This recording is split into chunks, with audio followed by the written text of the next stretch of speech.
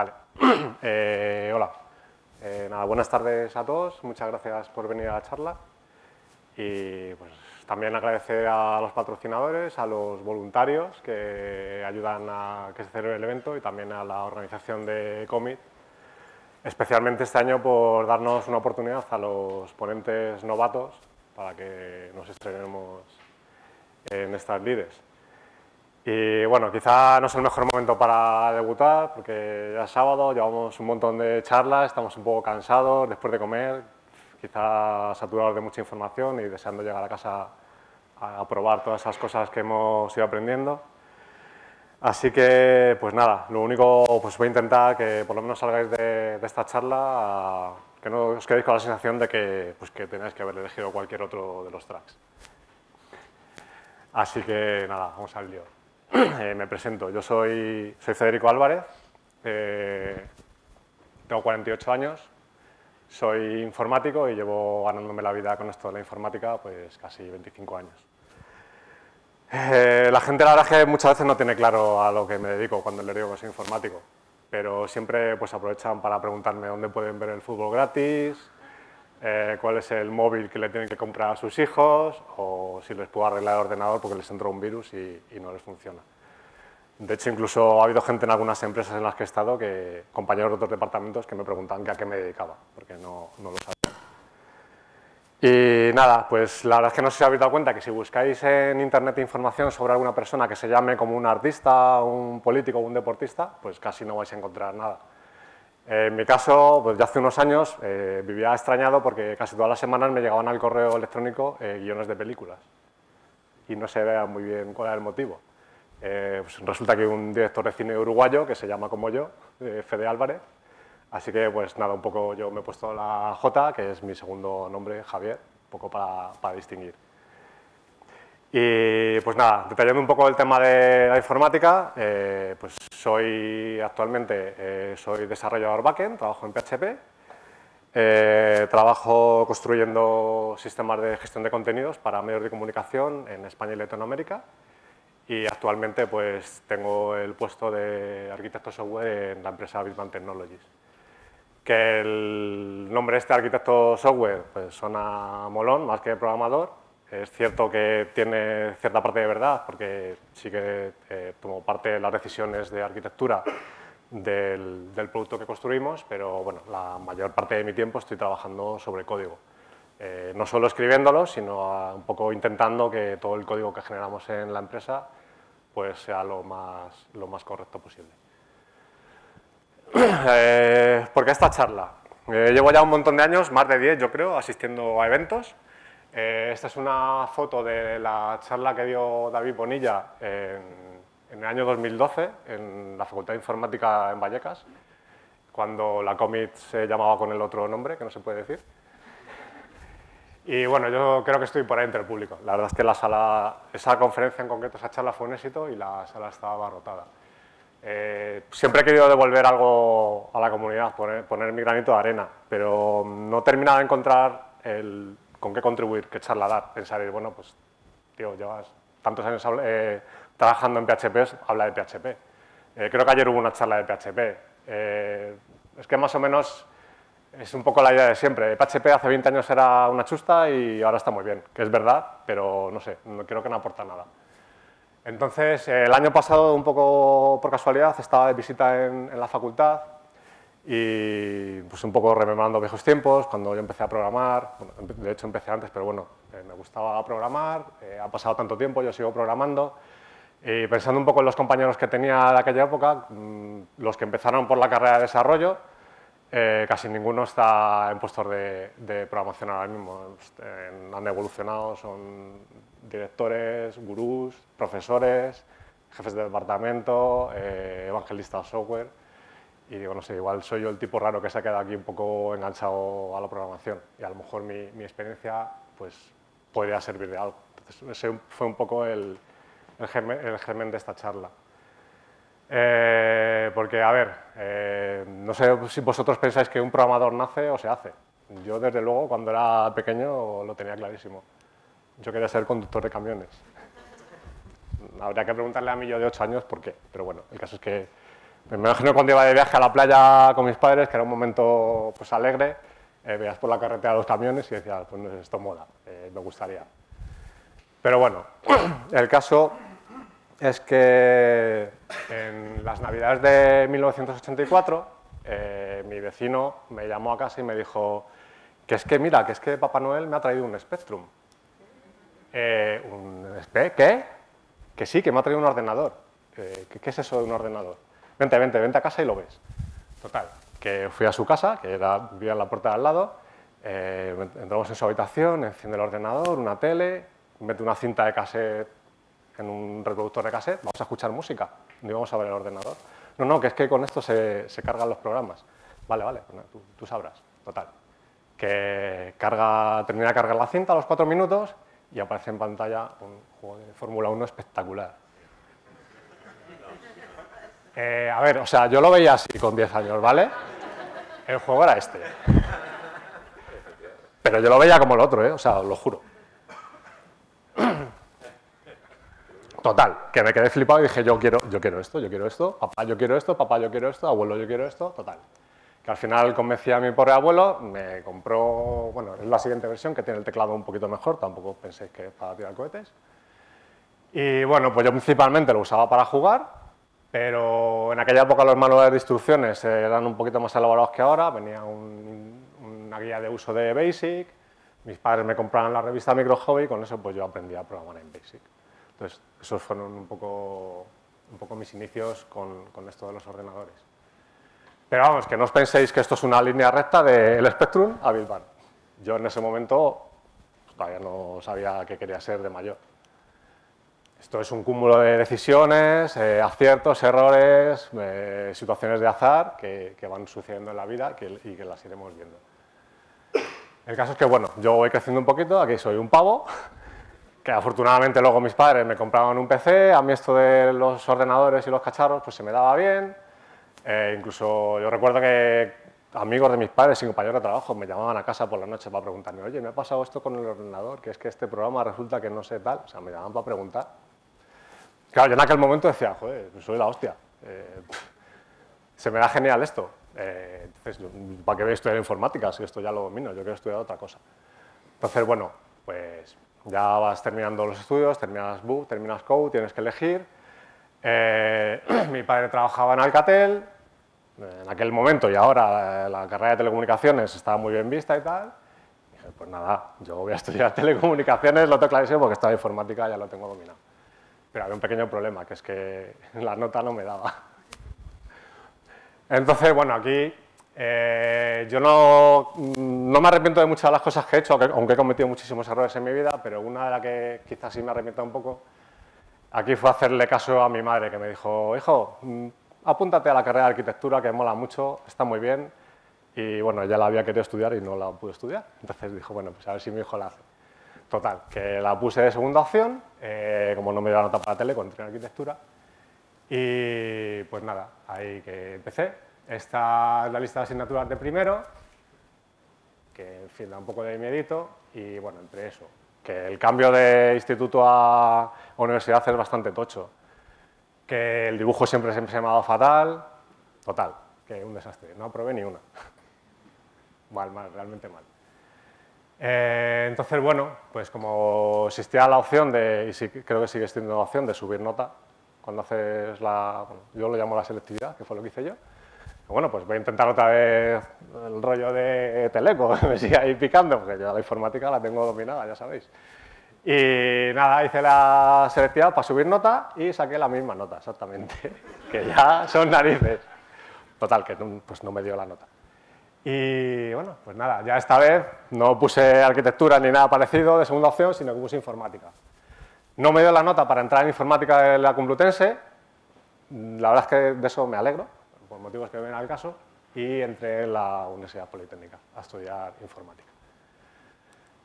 Eh, bueno, esta es la lista de asignaturas de primero, que no sé si os suena de algo, de lo que hemos visto antes. Se parece bastante a la arquitectura. ¿Del primer cuatrimestre? Eh, no, esto es el año completo. Eh, yo estudié licenciatura en informática, plan 83, seis años, y el primer... 83. Ah, de la de... Ah, Y el, bueno, de hecho el primer año de todas las ingenierías era esto, poco más o menos. Entonces, bueno, pues el año, si el año anterior hubiera trabajado un poquito más, pues por lo menos álgebra y cálculo las tendría convalidadas, pero ni eso. Entonces, pues nada, ya me tuve que, que poner al lío. Entonces, pues nada, yo llegué allí el primer día, eran clases por la tarde, que yo nunca había ido clases por la tarde, entonces tenías que comer súper pronto. Y bueno, pues con esos 19 años yo era un tragaldabas. Entonces dije, bueno, pues voy a echar unas galletas como estas a la mochila, pues si a media tarde me entra hambre. Entonces, bueno, pues llegas a clase, eh, te sientas un poco donde puedes, donde hay sitio, empiezas a hablar con la gente, te sacas las galletas, ah, dame una galleta, ¿qué tal? No sé qué, ¿cómo te llamas? ¿De, dónde vienes? Empiezas un poco ahí a, generar unas relaciones de una forma totalmente aleatoria, porque podía haber pasado eso con esa gente como podía haber pasado con cualquier otra. Y el caso es que mucha de esa gente, pues luego fue la que, con la que tuve bastante trato a lo largo de toda la carrera.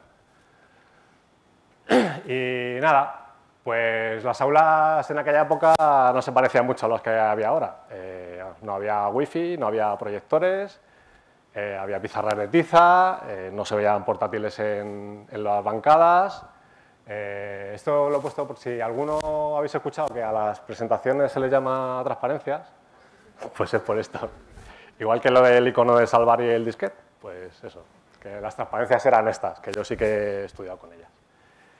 Y nada, como os digo, pues el, ambiente en la facultad tecnológicamente pues, eh, se diferencia bastante de lo que tenemos ahora.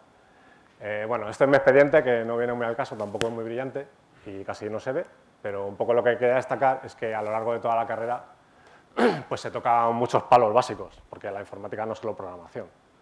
Entonces, pues curiosamente, repasando la lista, eh, me di cuenta de que algunas de las asignaturas no solo que no me, acuerda, no me acuerde del temario, es que no sé ni de qué van. Porque al final, pues sí, lo que, lo que, lo que usas durante tu carrera profesional, pues sí lo, lo fortaleces y lo alimentas, pero lo que no, pues obviamente lo olvidas. Y, nada, pues esto es un poco una línea de tiempos en la que he representado así por encima tecnologías para que veáis que cuando yo estudiaba, pues cosas como que Linux acaba de salir hace realmente poco, eh, los móviles estaban empezando, Internet en casa estaba empezando, de hecho, pues cuando empezamos la carrera no había internet en casa. Tú las prácticas las cogías en un disque, las grababas en casa y las llevabas a la facultad y las metías en un ordenador allí en, un terminal.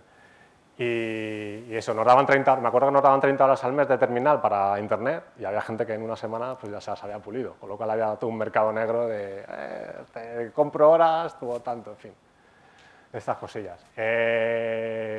XML que está en todas partes, pues a mitad de carrera. Eh, Git, control de versiones que usa todo el mundo, 2005. O sea, yo ya estaba, llevaba años trabajando y ni siquiera, ni siquiera se había inventado. Eh, entonces, bueno, pues vas acabando la carrera, tenía pendiente el proyecto, pero ya vas teniendo que buscarte un trabajo. Bueno, en ese caso, más que un trabajo, lo que buscas es una beca, un poco pues para ir cogiendo experiencia porque lógicamente cuando tú sales de la carrera tienes conocimientos más o menos en ciertas áreas, pero experiencia no tienes ninguna. Eh, entonces, pues lo que os digo, te vas buscando una beca para que, te permita compaginar, acabar el proyecto, e ir cogiendo experiencia. Y, bueno, pues en aquella época una de las que molaban mucho, tenían buena pinta, era las becas de Telefónica Investigación y Desarrollo, porque la verdad es que estaban súper bien pagadas. Estabas, creo que había opciones de 2, 4 6 horas, yo estaba 6 horas por la mañana, eh, luego por la tarde iba a estudiar las asignaturas que me quedaban y bueno, pues una empresa molona, ese edificio por dentro en aquella época era súper chulo, ahora creo que ya lo han vendido, lo han reformado y ahora es otra cosa.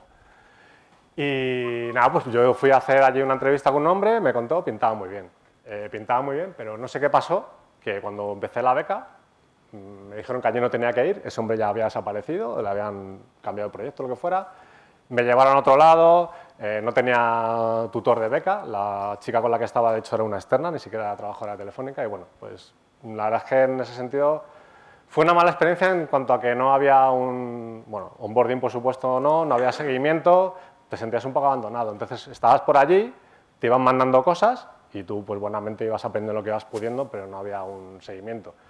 De hecho, tampoco había un plan de carrera, o sea, ya de primera nos dijeron, eh, ahora mismo tenemos cerradas las contrataciones.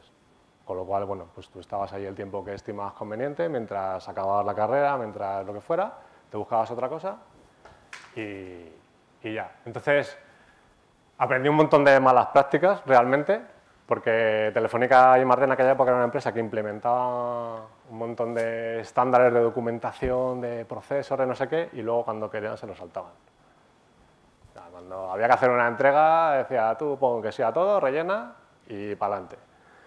Eh, y nada, eso, pues luego por mi cuenta pues aprendí también cositas de, eso, de PHP, empecé a aprender en casa, temas de Linux, Apache, MySQL, temas de maquetación web y bueno, el tema de compilador lo he puesto porque mi proyecto estaba relacionado con esa materia. Pues luego, desafortunadamente, no he vuelto a, tocar nada. Entonces, eh, a ver, voy a consultar que no quiero perder el hilo. Ah, sí, bueno, que yo en ese momento ya había aprendido un poco cosas, pero seguía sin tener claro un poco a dónde enfocarme o a qué quería dedicar mi carrera. Entonces, pues un día, poco antes de terminar, eh, por casualidad, pues sonó el teléfono. Y era un chico de la facultad, uno de los que me cogió galletas el primer día, que resulta que era director técnico de una agencia de publicidad y me dijo, mira, estamos buscando gente para programar en PHP, maquetar, ¿te, interesa? Digo, sí, sí, pues claro, aquí ya no está todo el pescado vendido, ya se me acaba la beca, pues vamos para adelante. Entonces, eh, fui allí a la agencia, me presentaron a la gente, no hice una entrevista como tal, realmente este chico ya me conocía y sabía un poco cómo, funcionaba. Entonces, pues nada, entré allí. Eh, en principio iba a entrar en el departamento de desarrollo de PHP para hacer temas de backend, maquetación. Ya tenían un proyecto más o menos con el que iba a empezar, con un compañero que llevaba allí tiempo y todo guay. Pues nada, llego allí el lunes que empiezo y me dicen que mi compañero justo el fin de semana ha tenido un, un accidente y se ha partido la muñeca y el hombre está de baja, lógicamente, tenía aquí bueno, unos clavos, unos hierros puestos. Y había un proyecto que entregar en un mes y la persona con la que lo iba a hacer y la que me iba un poco a guiar, pues estaba de baja. Así que, pues otra vez un poco miserias el, el onboarding, pero bueno, con ayuda del resto de gente salí, salimos para adelante, el proyecto salió. Eh, era una empresa pequeña, entonces eh, yo sí que estaba haciendo esas tareas, pero un poco intentaba aprender de todo. Tenías hasta que cambiar las cintas de los backups, eh, hacer temas de administración de redes, si a alguien que no era de informática se le estropea el ordenador y vas a echarle una mano, en fin, haces un poco de todo y yo aprovechaba pues, para, para aprender. Entonces, pues eso, voy un poco adquiriendo experiencia con más cosas y el hombre este que me contrató, pues se fue a, otra empresa y quedó su puesto vacante y yo dije, llevaba allí un año y algo, digo, joder, pues yo creo que puedo valer para lo que hacía este hombre, si más o menos ya me he entrado todo, eh, he puesto curiosidad y no, o sea, trajeron a otro de fuera, menos, menos mal. Eh, pero bueno, aquí, en aquel momento pues yo todavía era joven, inexperto y la ignorancia es muy atrevida, entonces me siento un poco mal, la verdad. Eh, aparte de, aparte de, PHP, había otra parte del equipo de desarrollo que hacía, hacía Flash, por los típicos microsites de Flash de publicidad, que eran interactivos y, tal. Entonces yo un poco con el cabreo y tal, resulta que que la parte de, Flash se había quedado un hueco, pagaban un poquito más, tampoco era para hacerme millonario, dije, pues venga, vamos a hacer Flash por cuatro duros más. Y la verdad es que, o sea, mal, mal porque fue una mala decisión. Eh, no estaba cómodo con, con, la tecnología, no estaba cómodo con el equipo, mm, pues mal, pero bueno, pues ya tomé la decisión, volver para atrás no era factible Digo, bueno, pues voy a seguir aquí hasta que me pueda, hasta que me pueda buscar otra cosa. ¿Y sabéis qué pasó? Que volvió a sonar el teléfono. Volvió a llamarme el príncipe Bekela me dijo, mira, te voy a hacer una oferta que no vas a poder rechazar. Y digo, pues, cuéntame, no sé. Mira, te vienes al Palacio de la Prensa, que es donde está el periódico 20 minutos, que es donde él, él se ha ido a trabajar, y te cuento, mira, esta gente son líderes en, audiencia, en papel, y yo pensaba, pues esto lo dan gratis, esto es como la farola, ¿no? Esto que va a ser líder de nada.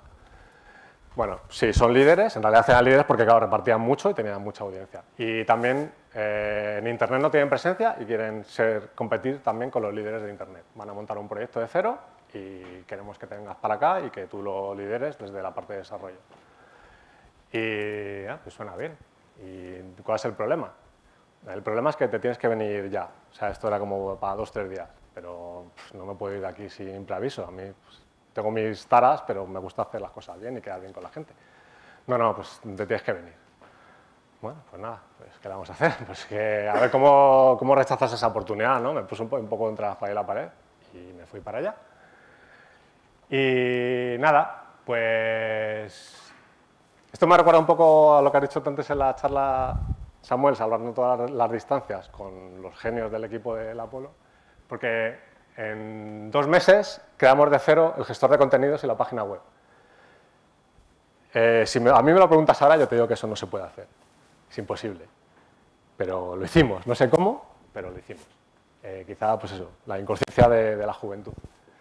Y efectivamente, pues a partir de ahí, eh, bueno, allí estuve 11 años, el proyecto efectivamente creció a mi alrededor, la página tiró para arriba, eh, aprendí un montón de cosas, no solo de programación, sino de pues, todas las cosas relacionadas con el, con el, negocio, con integraciones con terceros, con arquitectura, con cloud, con control de versiones, con movilidad, un montón de cosas.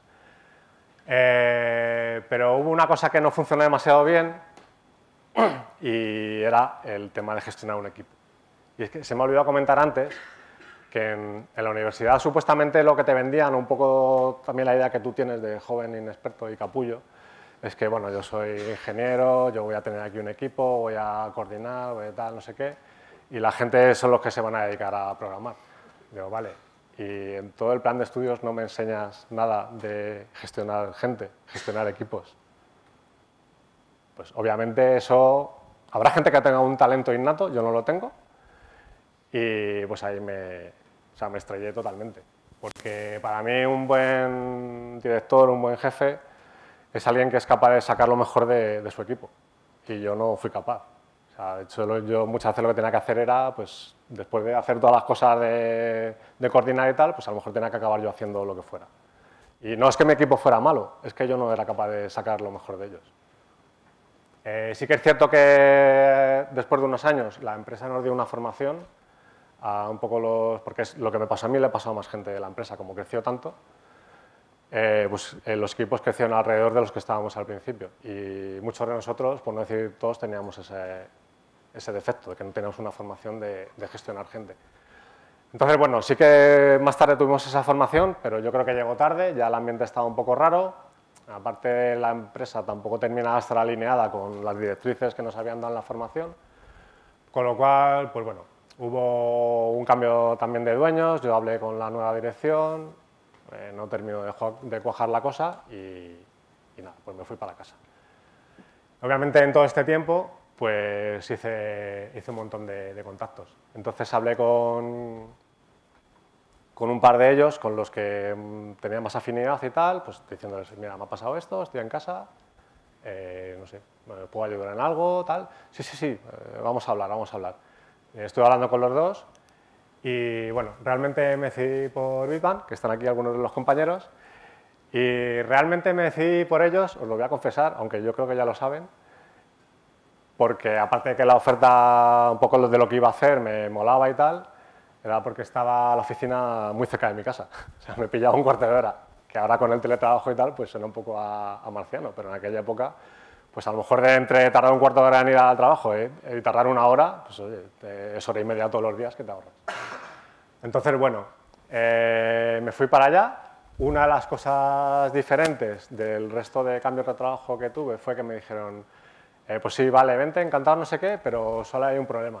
Y digo, ¿cuál es el problema? Que, que tienes que hacer una entrevista con, con el equipo. Digo, ah, ¿qué será el problema? encantado me parece lo normal. No, no, es que, hombre, tú vienes tal de ser director técnico, no sé qué. Yo puedo haber sido el Papa de Roma, pero yo aquí vengo y paso el proceso de selección y paso el proceso de contratación como todo el mundo. Y nada, pues ahí sigo desde 2016. Le dimos un poco, bueno, le di un poco la vuelta porque volví a, mis orígenes de desarrollador. Eh, realmente no, o sea, no tanto, porque al final toda la experiencia, el bagaje lo llevo conmigo, pero sí que me quité el rol de gestionar equipos y ahora lo que intento pues, es ayudar al resto de la gente, pero mm, desde un nivel diferente, que además incluso parece como que, que se toma mejor y yo también me lo tomo mejor, porque quizá tiene menos presión y, parece que la cosa pues, va mucho más, más engrasada. Y lógicamente, eh, con este cambio también lo que he hecho ha sido especializarme más otra vez en la parte de backend y de PHP, con lo cual pues todo el tema a lo mejor más de negocio, más de front, pues me considero que, he perdido experiencia y que he perdido conocimiento, porque en esto de la informática, si no estás al tran, con el día a día, pues te pierdes. lo que yo pueda saber de front ahora mismo está totalmente, totalmente obsoleto. Y a ver, que no quiero perder el hilo.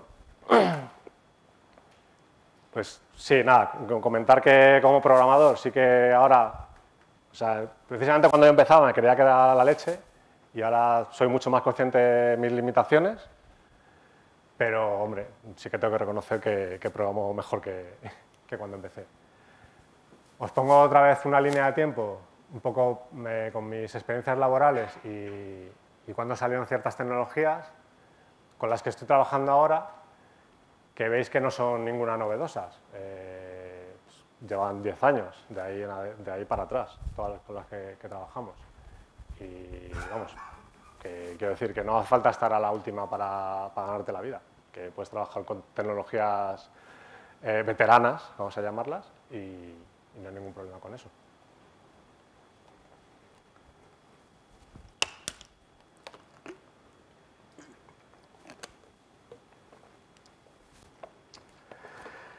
Entonces, eh, a ver, ¿cómo he llegado hasta aquí? O sea, ¿cómo han pasado todos estos años y yo sigo programando? Pues yo creo principalmente porque me gusta programar. O sea, si no me hubiera gustado, pues probablemente sí que hubiera apostado más por ese salto a otro tipo de, rol de gestión o, lo que fuera. Eh, porque tengo curiosidad por saber cómo funcionan las cosas. O sea, no es solo coger el último producto y usarlo, sino ver un poco las tripas. Siempre porque creo que afortunadamente he tenido esa formación básica que me permite comprender cómo, cómo, están hechas las cosas. Porque me gusta facilitar el trabajo a la gente. O sea, me gusta mi trabajo, me gusta el producto que hacemos, que ayudamos a, pues, a redactores de medios a que, a que trabajen lo más cómodamente posible. Eh, porque me he dado cuenta de que cuanto más conozco, menos sé. Y, también porque me he especializado en, lo que hago ahora y eso me permite también pues, un poco profundizar más en esos conocimientos y hacer mejor mi trabajo.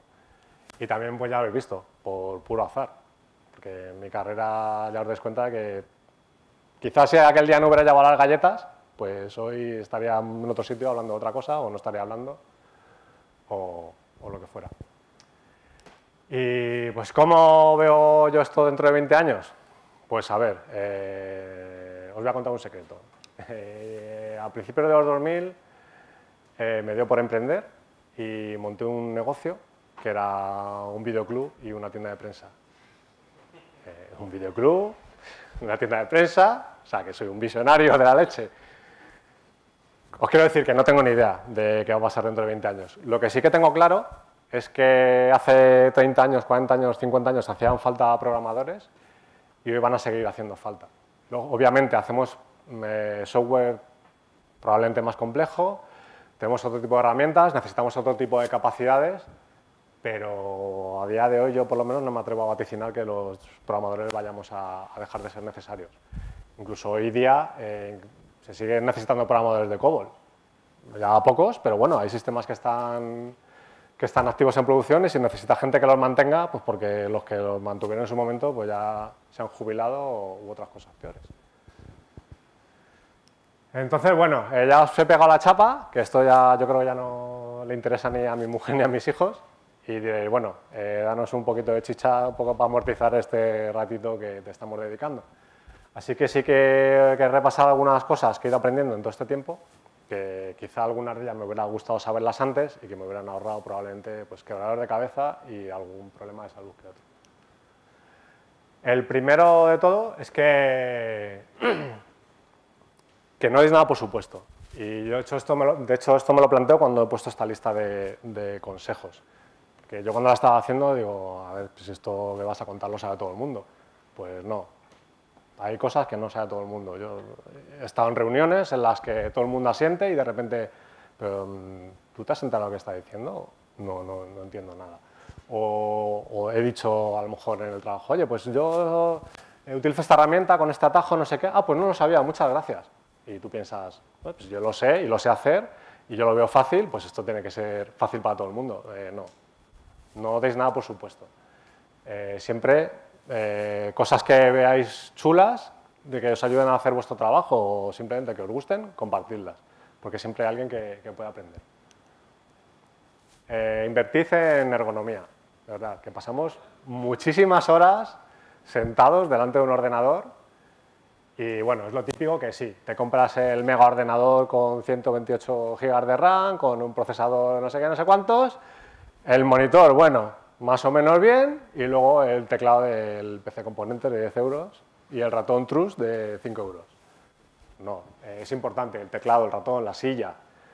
Eh, reposapiés si necesitáis la posición, es muy importante. Lo típico que empieza sentado bien y a los 15 minutos está ya así, programando. Pues te crees que estás cómodo y lo que te estás es fastidiando la espalda. Tamaño de la pantalla.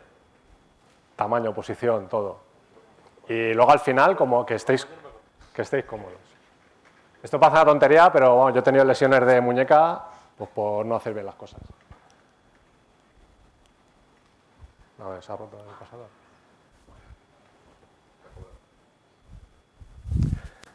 A ver, está guay leer libros, está guay verse tutoriales, ver vídeos en YouTube, hacer cursos, pero aquí como se aprende a programar es programando. Hasta que no tienes la pantalla en blanco y tienes que empezar a picar y, ay, ¿cómo se hacía esto? Y, esto no me lo han dicho en ningún curso, no, no aprendes. Es la única manera. Eh, acostumbrados a interiorizar el uso de Git, yo creo que es lo que usa todo el mundo, el control de versiones. Yo hasta para la cosa más chorra hago Git init lo primero y me, me, me interioriza el flujo, ya lo hago siempre. De esta manera, cuando lo tengáis que usar de verdad, pues tendréis mucho camino ganado. Eh, no os importe equivocaros y no os importe levantar la mano y decir me he equivocado, no pasa nada. Eh, iba a decir que no conozco a nadie a quien hayan echado por equivocarse, no es verdad, sí conozco a alguno, pero realmente no te suelen echar por equivocarte. Lo que normalmente van a pedir es que corrijas el error lo más pronto posible y hagas lo que tengas que hacer para que no vuelva a suceder. Obviamente, si la estás cagando todo el rato con lo mismo, pues sí te van a dar un toque. Pero eso, yo creo que no pasa nada por equivocarse, no pasa nada por, por admitirlo. Y yo no sé si alguno de vosotros eh, trabaja con vidas humanas. Yo no he tenido esa suerte de no trabajar con vidas humanas con mi código, entonces, bueno, pues no, pasa nada. El código temporal está muy bien porque te ayuda a ir rápido, pero si te descuidas llega a producción. Eh, luego otra cosa que también es normal es que el código que hagáis hoy eh, lo veáis dentro de seis meses y digáis, esto es horrible. Salvo que seáis Margaret Hamilton o John Carmack, eso es lo normal. De que veáis vuestro código de hace años y digáis, eso es qué maravilla, mmm, yo sospecharía. Eh, aprended a usar vuestras herramientas y sacarle todo el provecho que, que podáis. Eh, aprended atajos de teclado, automatizaciones, plugins, todo lo que sea, que os ayude a ser más productivos. Es una herramienta, es una herramienta que os tiene que ayudar a hacer vuestro trabajo, no os tiene que entorpecer. Y obviamente hay que dedicarle tiempo a conocer la herramienta, pero luego eso es, una inversión que, a la que se le saca mucho partido.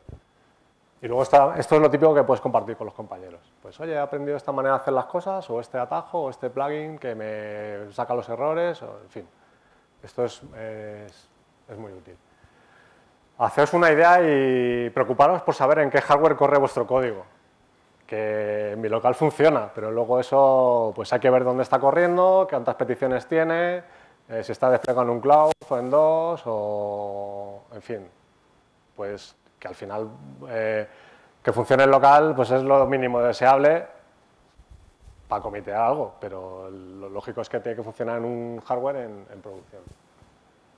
O yo qué sé, eh, aplicaciones de móvil, pues sí, en tu Android último modelo va bien, pero en el Android que tiene la gente de la calle, pues va lento. Pues ese tipo de cosas hay que tenerlas en cuenta. Respecto a eso, eh, obviamente hay que optimizar el código, pero no es lo primero. Lo primero haces el código que funcione y luego optimizáis. No estoy diciendo que con esto que subáis código sin optimizar a producción, pero que el, primer enfoque no sea de hacer ya esto súper optimizado. Porque lo más normal es que haya que hacer cambios. Entonces, si haces un cambio sobre algo optimizado, pues ya la cosa mm, no va a ir bien. Eh, meted trazas en todos los sitios que podáis, que sean útiles, que den información, pero meterlas, porque esto es lo que os va a salvar cuando haya un problema de saber lo que está pasando, si no estáis a ciegas y es imposible resolver el problema. Eh, vale. Eh, formato de código, estilo de código. Si la plataforma en la que trabajáis tiene un estándar, al estándar, no hay más que hablar. Si la plataforma sobre la que trabajáis no tiene un estándar, os ponéis de acuerdo en todo el equipo, definís el convenio y ya está, no se discute más. Si espacios tabuladores, llaves arriba, abajo, lo que sea. Eh, no solo por el tema de discusiones, que bueno, que un poquito de salseo pues nunca viene mal, pero si no, más que porque cuando tú vas a ver un código, pues por lo menos que lo que es el estilo, mm, eso ya te entre bien. Luego ya el analizar las tripas es otra cosa, pero por lo menos que el estilo no te choque. Porque no sé si habéis dado cuenta de que pasamos mucho, mucho, mucho, mucho más tiempo leyendo código que escribiendo. Relacionado con esto, eh, haced un código que sea legible, que sea bonito de leer. Eh, este es el típico meme de eso. Eh, haz código como si el tipo que lo va a mantener es un psicópata que sabe dónde vives. Normalmente incluso serás tú el propio que tengas que mantener tu código. Así que no te pongas piedras y déjalo un poquito pues, para el siguiente que venga eh, no le den ganas de vomitar. Si, o sea, si podéis hacer revisión de merge request entre varios, mucho mejor, revisiones de código. Si podéis hacer pair programming, bueno, eso sería ideal. Es muy cansado, pero es lo ideal. Y si lo combináis entre distintos perfiles, a lo mejor un front y un back, eso es chachi. ¿Por qué? Porque uno va aprendiendo del otro y al final del proceso terminas con los dos sabiendo más o menos de las dos cosas. ¿Y qué más iba a decir de esto? Eh, la chuleta. Ah, sí, que os pongáis a pensar antes de empezar a tirar código. somos mucho de, sí, sí, me pongo, me pongo, me pongo. A ver, párate un poquito a pensar, haz un planteamiento. Y si puedes discutir el planteamiento con un compañero, mejor, porque es la, forma en la que mejor salen las cosas. Documentación. La documentación no nos mola nada, normalmente, pero es útil y es necesaria. Eh, esta es una iniciativa que tenemos en Bitband, que se llama Sabías que, que empezó hace dos años, más o menos, en la que cada uno, eh, cada día, mandamos una pequeña píldora de conocimiento. Entonces, eso parece poco, pero cuando llevas dos años, te das cuenta de que tienes en un repositorio pues, un montón de píldoras de conocimiento, de un montón de dudas, que le pasa a casi todo el mundo que está trabajando en la empresa. Y no solo eso, sino a la gente que entra nueva. Porque el que entra nuevo suele tener las mismas dudas que el que entró nuevo hace seis meses. Entonces, si esas dudas ya las tienes ahí repositadas y accesibles, pues eso es eso que te ahorras. Y sobre todo es muy importante que la documentación tenga un buscador. Porque si te tienes que preocupar en categorizarla, organizarla, al final no la encuentras. Y documentación que no encuentras es documentación que no existe. Entonces, o sea, sí que es imprescindible tener, un buscador. Se han vuelto otra vez esto.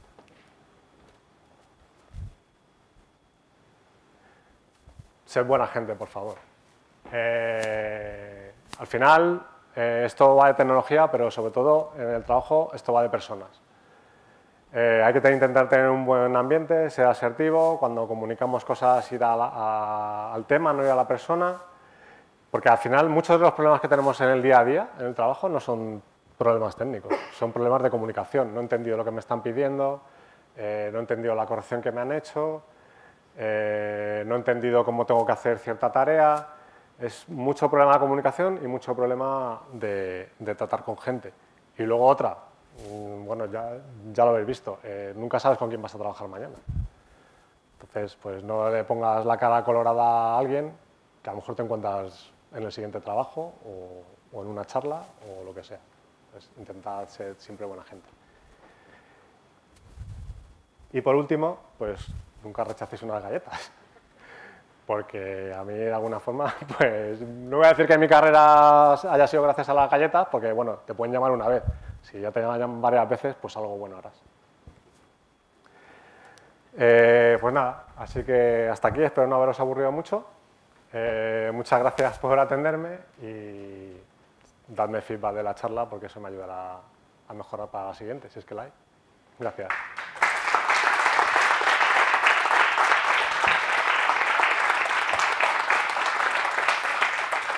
Si tenéis alguna duda, comentario o lo que sea, pues creo que tenemos tiempo.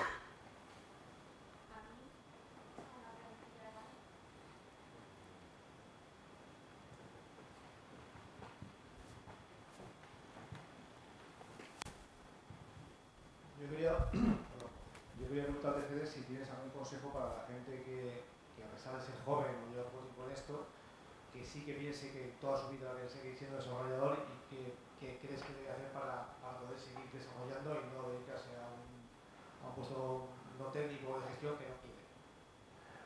Yo creo que sobre todo es mantener la, tener buenas bases, o sea, intentar formarte en bases, conceptos de, yo que sé, patrones de diseño, algorítmica, eh, temas de lógica, de álgebra, no irte al último framework de moda, porque eso pasa. Y es eso, o sea, si, es que si vemos la tecnología con la que yo empecé a trabajar, de lo que hay ahora, sí, está el PHP, pero el PHP de entonces ni, ni se parece al de ahora. Entonces, o tienes esas bases que te permiten evolucionar y la curiosidad para mantenerte hambriento de, seguir aprendiendo, o si no, pues, no sé, pues imaginaos que yo hubiera aprendido Flash y solo supiera Flash, pues ahora estaría, no sé, repartiendo la farola por la calle.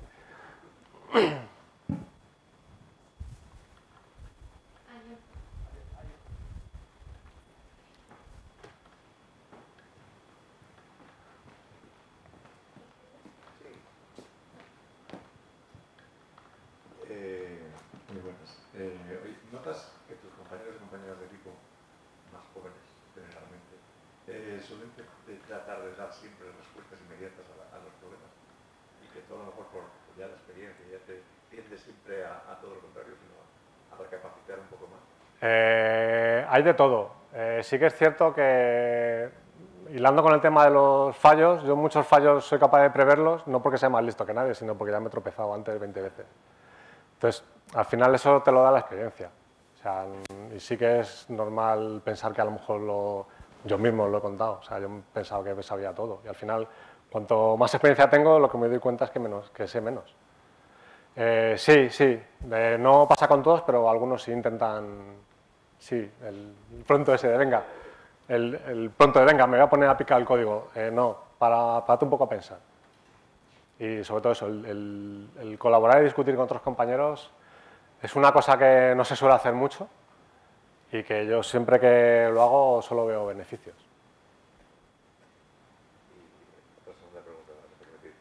¿Dónde estabas la noche del 31 de diciembre de 1999? Eh, pues esa es fácil, esa es fácil porque si habéis leído la descripción de la charla, yo antes de esto trabajaba en una orquesta. Entonces yo en Nochevieja vale. trabajaba, en, trabajaba en fiesta y además ah, era para un músico era la mejor noche del año porque era la que más o sea, menos trabajabas en relación a lo que te pagaban. Nada de Así que sí, no. Nada de No, estaba tocando el piano en una orquesta.